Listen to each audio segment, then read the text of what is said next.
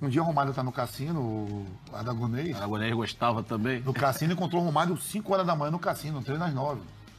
Olhou, Romário jogando, cutucou o Romário. O Romário olhou. O que faz aqui? Romário, meio que você jogando. não, mas vai ter treino amanhã às 9 horas. Sim, o que, que tem? Você tem que correr. Ele falou, e você para dar o treino também não tem que pensar. ah, é, beleza. Chegou no treino, botou um treino tático para Romário marcar zagueiro. Marca o zagueiro, Romário, fui contratado para fazer gol.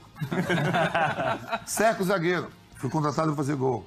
Acompanha pelo menos o zagueiro, não acompanha nem minha esposa.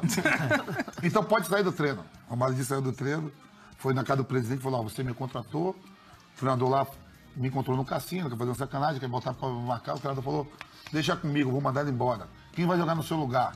Angulo. Angulo vai jogar no seu lugar? Vai. Vamos para minha casa, vamos ver o jogo em casa. Depois do jogo eu vou demitir o